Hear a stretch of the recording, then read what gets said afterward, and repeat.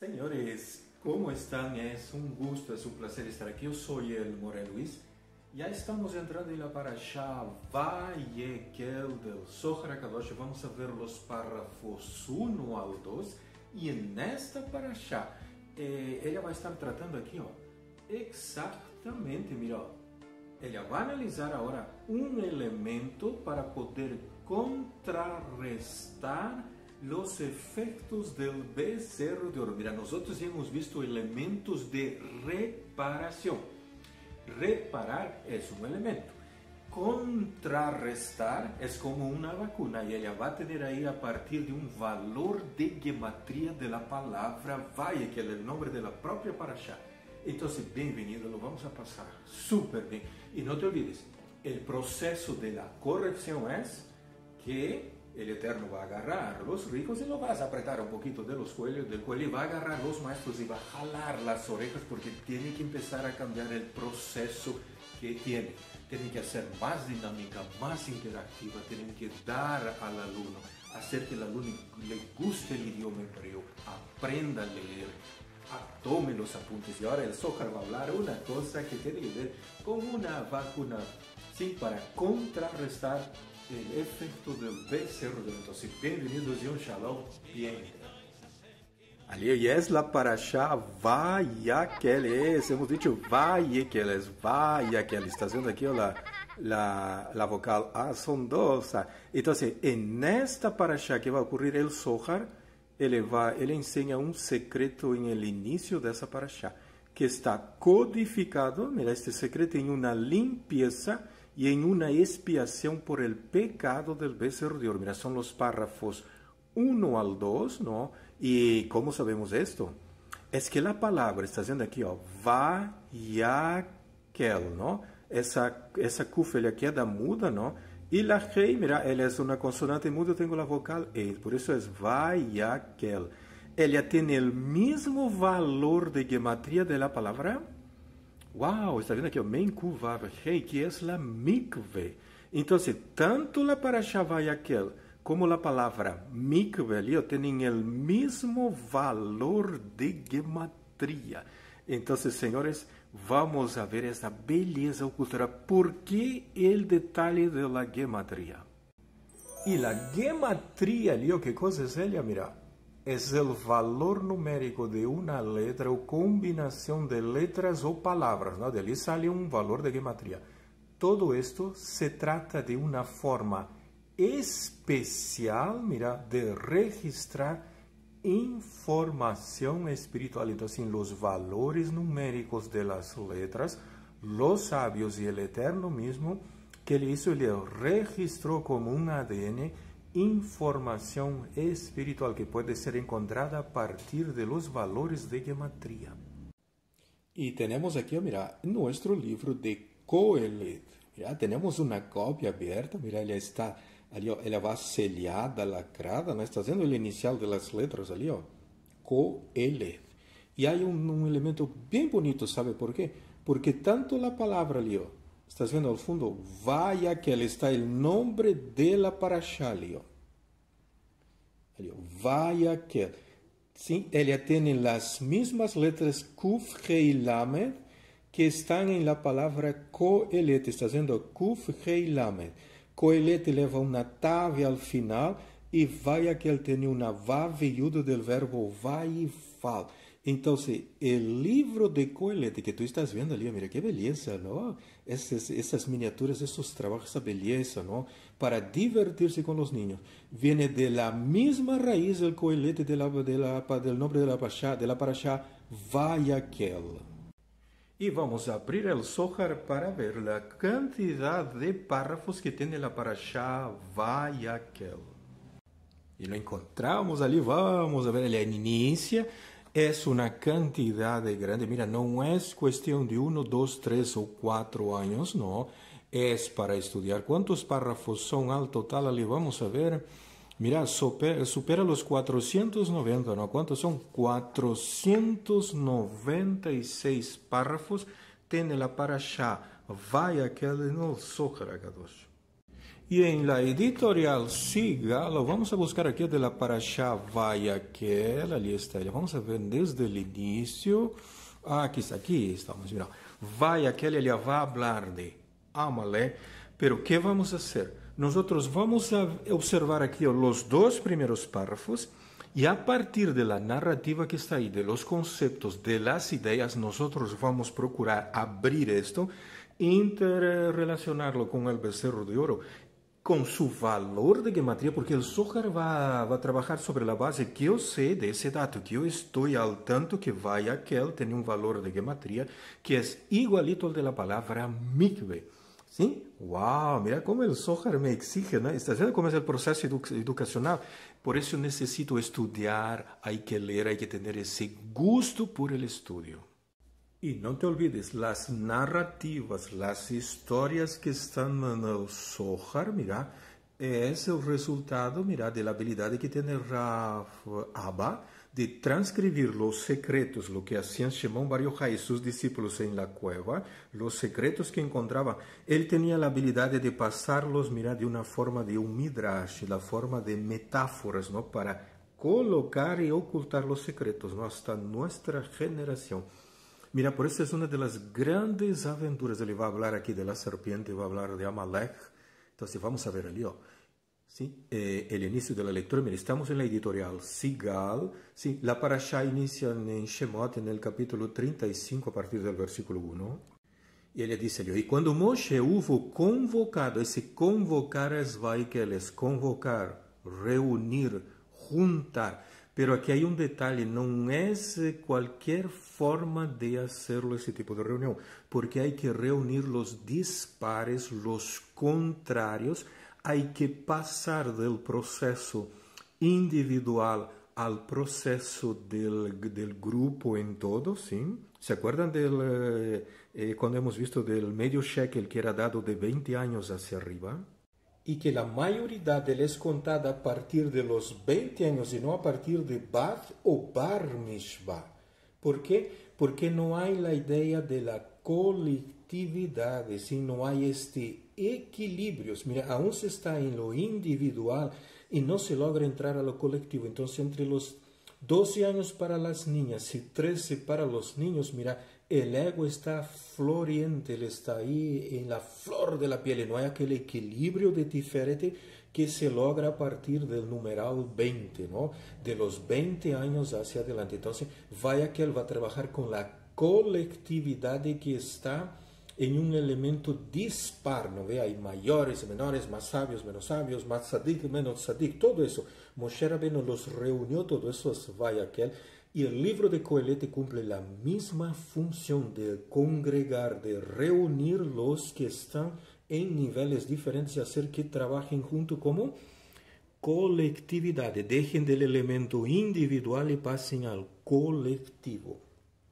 Y esto sucede después del incidente del becerro de oro, este, este Vayaquel, después de la entrega de las segundas tablas, donde eh, ele havia velado os secretos, então ele hubo convocado toda a congregação de los hijos de Israel e lhes dijo, estas são as coisas que o Eterno os ha mandado hacer. A partir de agora se vai começar a construção, sim, a erigir o Beit, a Beit HaMikdash, não, o Mishkan. E Rabbi Hia, ele empieza el discurso citando, mira, y dijo Shaul a los kenitas, ¿no? Estos kenitas son los descendientes de Itro, mira, retiraos y salid de en medio de Amalek. ¿Sí? Cuando él fue enviado, ¿no? Para hacer aquel ajustes de cuenta contra los amalequitas, porque ellos salieron al encuentro de Israel cuando ellos eh, cruzaron el mar rojo y en su caminata hacia el Sinaí. Entonces observar, mira, que respecto de Amalek está escrito, me acuerdo de lo que hizo Amalek para con Israel. ¿Sí?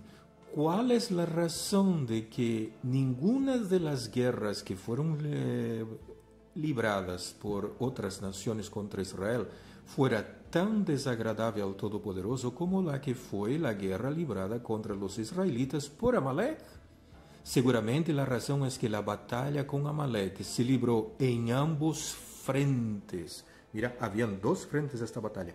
una frente era en el alto y la otra era abajo. Mira, era en Yudkei y aquí era Vavekei. Porque en ese tiempo la mala serpiente reunió todas sus fuerzas arriba que es Yudkei y abajo que es Vavekei. Es habitual en una serpiente el acechar en donde? En los cruces de los caminos. Por eso es que Amalek aquí y todo el pensamiento lo está comparando con una serpiente que acecha el camino. Así Amalek, la mala serpiente de Israel, wow, está haciendo Amalek está relacionada con quién? Con Israel. Mira, la serpiente está dentro, mira, es su mala serpiente. Estaba acechando en las encrucijadas de los caminos. ¿Qué quiere decir? Que en nuestra jornada hacia el Matan Torah, ella va a aparecer vez tras vez, como está escrito de cómo se opuso en el camino. Mira, ese texto allí, él está en Primera de Shmuel, capítulo 15, en el versículo 2. Mira, de cómo Amalek se colocó como una serpiente en el camino para picarle a su presa, ¿no? Mira, estamos ya en el párrafo 2. Esto es, eh, eh, ¿qué quiere decir? Que él estaba acechando en una emboscada en lo alto para contaminar el santuario que estaba arriba y abajo para contaminar a Israel. ¿Por qué ocurrió todo esto? Porque se iba a construir, ¿qué cosa? El Mishkan. Esto quiere decir que el santuario que estaba arriba iba a bajar abajo. Mira, todo eso, los efectos, ¿no? Posterior, por supuesto, al uh, becerro de oro. Y él toma aquí la escena de Amalek, pero él va a iniciar citando de Shaul y los Kenitas. Él no va a entrar directamente en el ataque frontal de Amalek que ocurrió allí en el capítulo eh, 18, creo que es, ¿no? De Shemot. Antes de que ellos se encuentren con Mitro. ¿no? Esto, hubo allí una batalla. No, él no va a citar allí, él va a citar el caso de Shaul cuando él recibió la orden por Shmuel de ir a destruir Amalek. Eso está en Primera de Samuel capítulo 15, versículo 6. Estamos ahora en la Tanaj, el capítulo 15 de Primera de Shmuel. Vamos a ver los versículos 2 y 3 y aquí el versículo 6 que va a citar Rabejía en su argumentación. Mira, contra Amalek Mira, el punto de partida va a ser Primera de Shmuel capítulo 15. Y no va a ser el texto, mira, de Shemot capítulo 17 a partir del versículo 8 donde está la batalla de Amalek contra los israelitas. Mira, inicia en el versículo 8, tú puedes ver, ¿no? Va a intervenir aquí Moshe Rabbeinu, va a estar Hur, va a estar Yehoshua, le, tiene que escoger hombres. Estos hombres no es cualquier hombre, no es cualquier voluntario, son sadikins.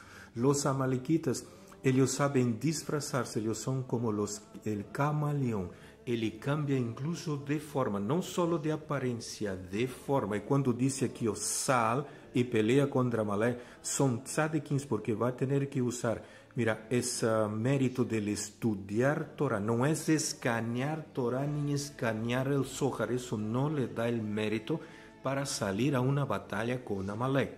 Tienes que aprender el hebreo, tienes que estudiar, tienes que hacer las festividades, Shabbat, Shabbat tienes que estudiar. Todo esto va a combatir Amalek.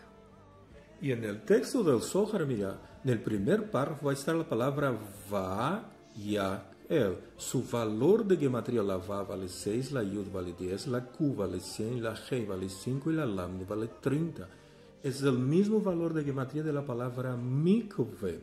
Mira, la mikve contiene una Vav, no es la letra Bet, ela está con Vav. ¿Sí? Mira, y va a tener el mismo valor de gematría de Va y aquel, que vale 151, la Men vale 40, la Q vale 100, la Va vale 6 y la G 5. Mira, 151. Y no solo es, estás viendo la palabra Amalek que aparece aquí en el primer párrafo. Y no son pocas las veces que aparece. Una, dos, tres, tenemos cuatro veces salió la palabra Amalek.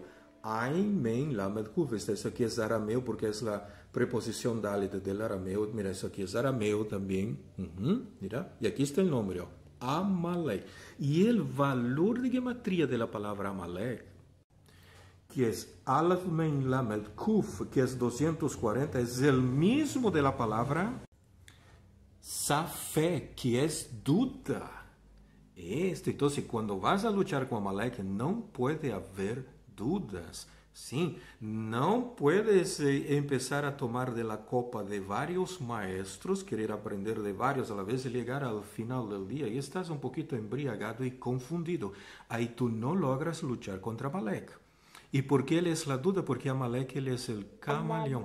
Él cambia de color de piel, él cambia de color de forma, él, él se transforma lo que tú ni te imaginas. Y si tú tienes la duda, ya no lo sabes reconocer, mira, él ganó uh, la primera batalla. No habrá ganado la guerra, pero él gana una batalla tras otra.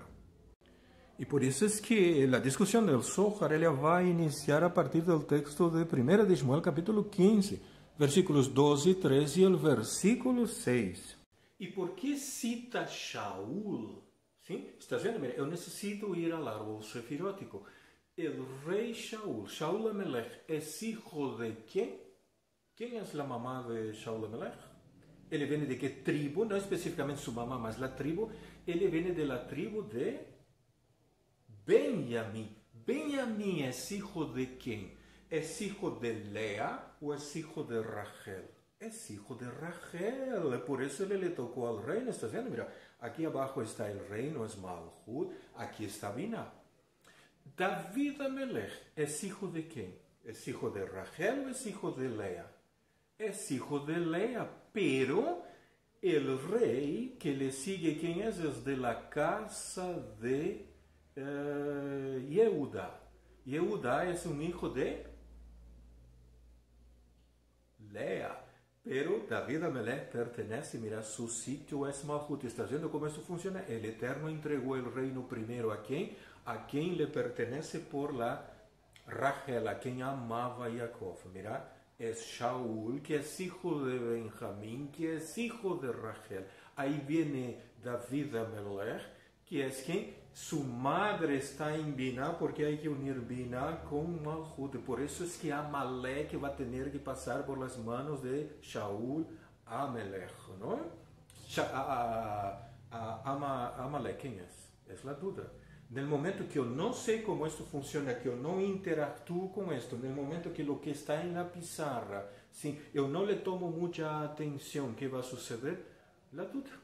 Yo no consigo vencer a Amalek. Aí puedo escanear, voy a necesitar chains, voy a necesitar una armadura para poder luchar contra Malek y no voy a conseguir. ¿Sí? Necesita ser un tzadik. El tzadik está en la sefirá de Yesod. ¿Estás viendo todos los conceptos que están involucrados ahí dentro? Moshe Rabbeinu está en la sefirá de Netzach. Él está bajando de los niveles de Chochma Binada a de Chabad. Ele está bajando com a Torá, bajou a Tiferet, de Tiferet de Yesod, de Yesod ele está dando, sim, a Torá com as segundas tablas a todo Israel.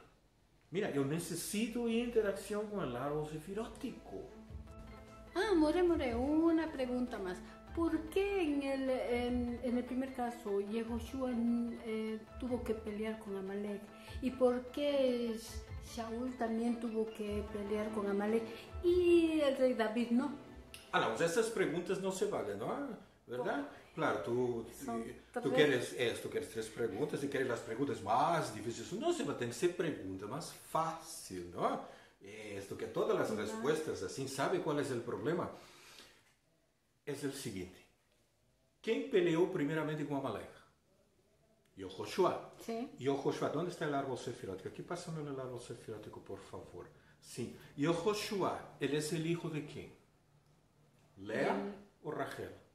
De Rachel. Rachel, muy bien. Él es de la casa de Yosef. Sí. ¿Sí? Sí, él viene por la casa de, eh, de, de Efraín, ¿no? Más precisamente Efraín. Muy bien. Shaul Amelech es hijo de Lea o Rachel? Lea. No, no Shaul no, no, es, de Rachel. Sí, Rachel. Es por la casa de Benjamín. Sí, sí. Yehoshua es de Rachel por la casa de Yosef y eh, Shaul Amelech es de Rachel por la casa de Benjamín. De sí, de, de Benjamín. De Benjamín. Eso. De Yosef es de la casa de Efraín. Mira, todo eso, mira, hay que interactuar. Mordecai ¿Quién fue el otro que peleó con, con Amalek? Mordejai. Mordejai es de la descendencia de Shaul Amalek, entonces él es de Benjamín, él es de Rachel. Por eso es que David Amalek no pudo pelear contra Amalek, tenía que ser de la casa de Benjamín. Ah. Eso, ¿qué quiere decir esto? Más que todo, ¿sí? Mira, es eh, de, del- de la casa de Yosef, ¿sí? ¿Por qué Yosef y Benjamín?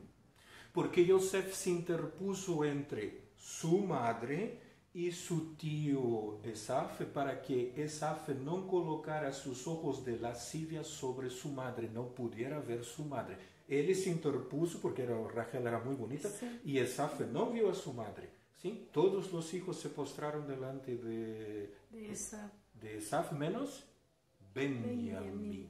Esto, por eso David Amelech no va a pelear y no va a vencer esa Sí, batalla. No va, tuve, tuve sus batallitas, sus peleitas, hasta ahí nomás se terminó. Pero no La con orden Amalek. que se le dio a Shaul Amelech no se le dio a David Amelech. sí. Y Amalek es la duda. Duda. Para pelear con esa esa duda que se necesita, la estructura de la tanda de Yosef y Atzadik y sus descendientes y de Benjamín y sus descendientes que nunca doblaron su rodilla a Esaf. Y ahora vamos a ser bien sinceros, nosotros en el sistema religioso hemos doblado, nos han obligado a doblar nuestras rodillas delante de Esaf. Por eso no es fácil el Amalek. El Amalek no es esta fantasía que nos mete en la cabeza, ¿no? ¿Sí? Que se sale tan fácilmente. Y estamos ali, ó, el capítulo 15 de Primera de Shmuel, el versículo 2 que dice ali, y así dijo, eh, dice el Eterno, ¿no? Mira, Yud Kei Tsevaot. ¿Estás viendo cómo ele aparece aquí? Yud Kei Kei Tsevaot. Esta es la Sefirá de Netzach, de la victoria. ¿Se acuerdan? Mira, es la Sefirá de Moshe Rabbeinu. En el árbol sefirático, como el Eterno se está presentando ahora a Shaul Ameler, como Yud Kei Kei Tsevot, mira, es el lado de la derecha, es la Sefirá de Netzach. ¿Estás entendiendo cómo el Zohar me va a exigir que yo sepa? Y continuó. Tomaré venganza contra Malek. Mira, Malek es el Safek. ¿Sí? ¿Por qué? Por lo que hizo a Israel, por haberse, ¿qué cosa dice aquí? Opuesto, es un opositor, está haciendo aquí el Satán, ¿no? A Israel en donde? En el camino. ¿Quién es, eh, acecha a su enemigo en el camino? La serpiente. ¿Estás viendo cómo eso es los juegos de palabras? Mira, cuando él subía de Egipto, él estaba saliendo, ¿no? Ahí el Eterno le dice, por el profeta Shmuel, a Shaul Amalek, mira, ahora ve, ¿sí? Y hiere a Amalek. Mira, la duda, destruye totalmente todo lo que él tiene, todo. ¿Por qué? Porque él tiene, él es del efecto camaleón, él se disfraza, le cambia de color, cambia de forma, por eso no puedes tomar nada de Amalek, Amalek no tiene nada de bueno. ¿Sí? Dice que no tengas piedad de nada. ¿Sí? Mira, debes incluso de matar a Leo, los hombres y las mujeres. ¿Por qué? Porque le cambia de forma, no es hombres ni mujeres, ¿no? Incluso habla de los niños, ¿no? Sí, los, mira, los bueyes, las ovejas, camellos, todo. ¿Por qué? Porque le cambia de forma. Él es un camaleón, no está hablando ni de animales, ni de, niños, ni de los jovencitos, ni de hombres, ni de las mujeres. Él cambia de forma. Esta es la calidad de Malek. Por eso, si no es un tzadik, no tiene el nivel de estudio de la Torah, él viene y nos hace la gallinita ciega, ¿no? ¿Qué más dice acá? Mira. Y él dice que Shaul le dice a los queneos, que son los descendientes de Itro, mira, retiraos, ¿no? Id, salid vosotros de en medio de los amalequitas, para que yo, ¿no? No al destruir ellos, ¿no? Los destruya juntamente ustedes. ¿Sí? ¿Por qué? Porque ellos cambian de forma. Sí, ellos iban a hacer que los, los amalequitas hacerse pasar por los del, descendientes de los queneos. ¿Estás entendiendo cómo esto funciona? Esto es lo que el Zohar me va a exigir en el inicio. Y con base en todo esto salió, es que la palabra vaya aquel, mira, tiene el mismo valor de gematría de mikve, 151. ¿Estás entendiendo? Mira, cuando reunió a todo el pueblo, ¿qué le estaba haciendo? Estaba haciendo una gran mikve, una gran reunión de aguas. Entonces, aquí el Zohar va a sacar la conclusión que la mikve es el secreto cabalístico de la purificación la cual es una piscina de agua en donde haces una inmersión completa y se purificas. Pero si tú estás pensando en una piscina y una mique física, pues no has acertado la idea. No te olvides, el Zohar no está hablando de cosas físicas. ¿no? Mira, la mikve que está, esta agua es la Torah, por eso tienes que estudiar, ¿no? Esa piscina o esta fuente de agua natural es nuestro mundo físico que está seco. Hay que hacer bajar esa agua. Hay que hacer que este mundo se convierta en una gran piscina y un gran mikve para que se haga una inmersión. Allí estás viendo, una inmersión completa en la Torah y se purifique. ¿Se acuerdan del iceberg? Solo ves la puntita y hay que sumergir en esta mikve fría y helada para llegar hasta las profundidades. ¿Estás entendiendo lo que es la mikve? No es entrar en una piscina con agua y hacer una inmersión. No es esto lo que el Zohar está diciendo. La agua es la Torah, la mikve es esta reunida. ¿Qué está haciendo? ¿Qué, ha hecho um, cuando fue a enfrentarse con los amalequitas? Él reunió los sadequins. ¿Qué ha hecho Shaul Amelech cuando fue a pelear contra los amalequitas? Él reunió el pueblo. Está haciendo la palabra Vaikel. ¿Y cuál es la enseñanza más profunda ahora en todo esto? Mira, muchas mentes se dedicaron al estudio de la Torah y del Zohar y se preguntaron, mira, ¿cómo pudo el pueblo de Israel cometer un pecado como el del becerro de oro después de todo lo que ellos pasaron? después de casi terem visto a Dios, después de terem sido resgatados de Egipto y después de cruzar el mar de los juncos, ¿cómo es que fueron caer en la trampa del becerro de oro? Se va a preguntar, ¿hubiera sido posible haber evitado este incidente? Mira, Israel estaba en un nivel tan elevado, No te olvides, cuando estás en un, nivel elevado, ¿qué también sube? Sube el ego. Exactamente, por eso es la mikve. La mikve busca bajar el ego. Mira, hay que sumergirse completamente. ¿Qué otra forma hay de evitar el ego? Cuando se hace netilat y adain, ¿qué ocurre? El ego, los resquicios que quedan en las yemas de los dedos con el agua, sale todo aquello. A veces nosotros estamos aprendiendo una serie de cosas ¿sí? que no sabemos ni motivo, ni causa, ni razón de lo por qué estamos haciendo y terminamos mezclando todo y la cábala tenemos al final todo menos cábala y secretos de Torah. Y ellos se preguntaron, ¿acaso era posible haber evitado el pecado del becerro de oro? ¿Acaso era posible haber evitado tener una mácula de ese tipo? El hecho es que no se hubiera podido evitar. Esta fue la conclusión que llegaron los sabios. ¿Se imagina? Nosotros nos hubiéramos inventado 50 cosas y encontrado unas salidas ingeniosas de la que la caba y los cabalistas, dijeron, mm, mm, no había forma de evitar. Wow, ¿se imagina esto? No había forma de evitar el incidente del becerro de no había forma de hacerlo, mira. Mira, el hecho es que en realidad no se podía, mira. Todos en la vida tenemos momentos de subida y bajada en la vida, mira, son los altibajos que tenemos en la vida, todo el mundo tiene. Un día estamos conectados en el cielo y los días que le sigue parece que estuviéramos tocando el fondo del pozo, ¿no? Hay ratos de pecado y hay ratos de purificación. ¿Está viendo la palabrita aquí? Purificación. Mira, hay ratos de pecado y hay ratos de purificación. Eso hay que entender, ¿sí? Mira, eso es cábala, ¿sí? Como en el caso, mira, de la parasha de esta semana, ¿no ve? Esto. Ellos están ahora haciendo un proceso de purificación. Entonces, tenemos ratos de oscuridades y ratos de luz. Esta es la vida. Mira, el mundo funciona de esta forma. Esto es una ley espiritual. Hay subidas y bajadas. Se llama eso también como una montaña rusa. Entonces no hay que, que asustarse, no hay que pensar que hemos sido abandonados, que estamos en un camino equivocado y que nos podrá limpiar. No, esto ocurre. Hay estos ratos de subidas y bajadas, buenos y malos. Eso hace parte de la estructura de funcionamiento del universo y del ser humano.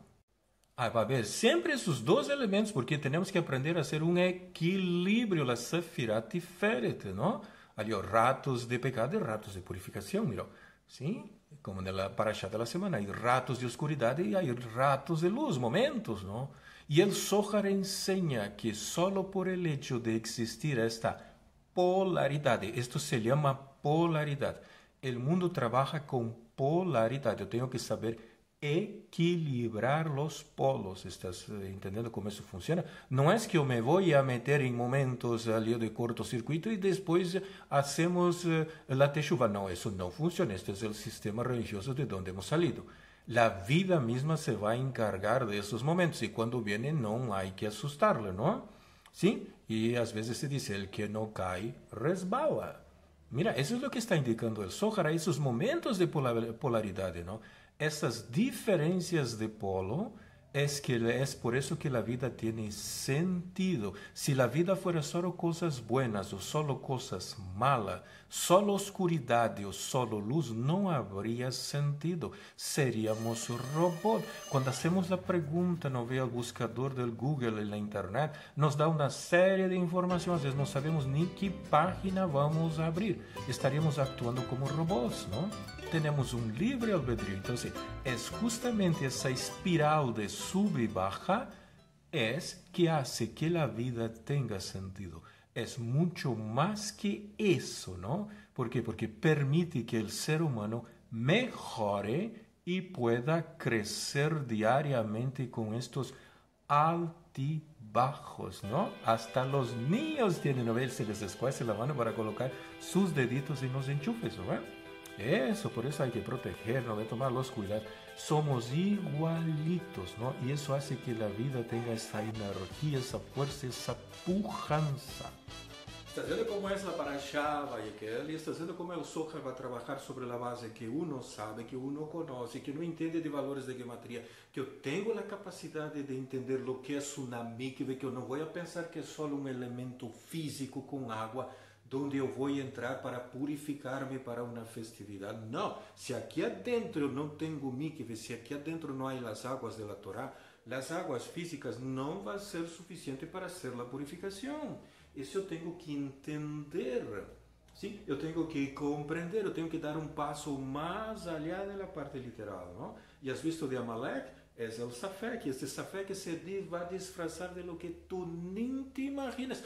Não lo cuenten a nadie, pero aún destas coisas de Cábala que se enseña, ele se disfraza, pero com unas, uh, unos disfraces que uno lo mira e diz, wow, este é um judío religioso, ¿sabe qué? Eu quero ser-me judío, quero o processo de la conversão. Mira, e o que estamos vendo é Amalek.